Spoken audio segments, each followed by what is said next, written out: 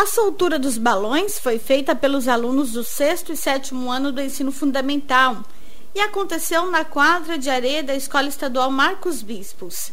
Com sementes de diversas espécies de plantas no interior do balão, a proposta é fazer com que eles voem para fora da escola e possam alcançar diversas localidades com o intuito de difundir as espécies e urbanizar a cidade. É um incentivo que, a hora que ele chegar na troposfera, ele vai estourar por causa do gás hélio e vai cair essas sementes, então, no meu quintal, no seu quintal, no quintal de cada um deles, né?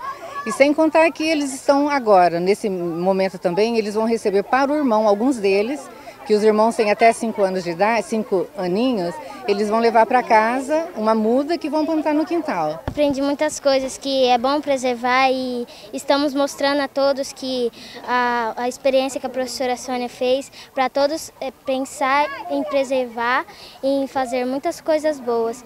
Porque eu nunca vi uma professora ensinando isso, né? A primeira vez que a professora Sônia ensina umas coisas diferentes para a gente, né? Muitas coisas que ela ensina e essa aqui foi uma das melhores que ela ensinou.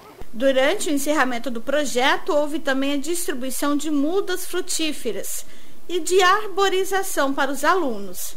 As mudas foram doadas pela Secretaria Municipal de Meio Ambiente. Hoje a Secretaria de Meio Ambiente ela, ela, ela ofertou essas espécies de muda da espécie de IP branco, IP rosa, IP roxo e da espécie de oiti é, exória e boliviana.